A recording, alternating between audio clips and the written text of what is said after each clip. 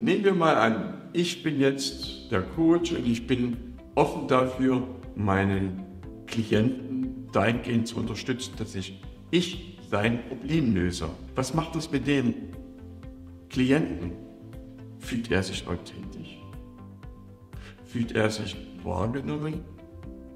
Oder ist es nicht ein viel, viel besserer Weg, letztlich den Klienten, dem Coaching auf seinem Weg seine Problematik, ihn zu begleiten, indem man ihn unterstützt, damit er sein Problem löst. Oder sie, Entschuldigung, also nicht geschlechtsspezifisch, sondern damit er oder sie ihr Problem, sein Problem lösen kann. Ich denke, da liegt doch eine, da liegt doch eine ganz andere Wertschätzung. Also, Ego am Kleiderbügel und ins Tun kommen, Vertrauen aufbauen und jederzeit dem Coach das Gefühl zu geben, hier bin ich richtig. Das ist genau das, was ich möchte und was ich auch für viel Geld erwarte.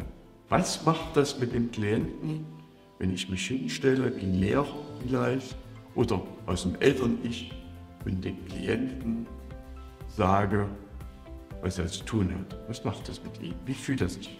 Wie fühlt er sich dabei? Was macht seinen Selbstwert? Was macht sein Selbstbewusstsein?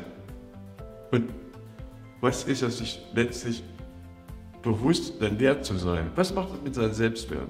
Ich glaube, die Frage könnt ihr euch alle selber beantworten.